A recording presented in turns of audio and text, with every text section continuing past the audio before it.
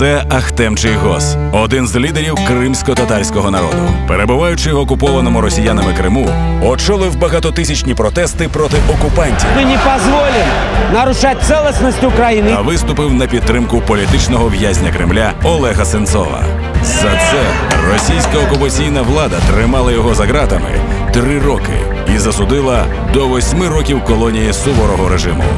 Петру Порошенку та президенту Туреччини Ердогану вдалося вирвати дисидента Ахтема Чийгоза у 2017 році.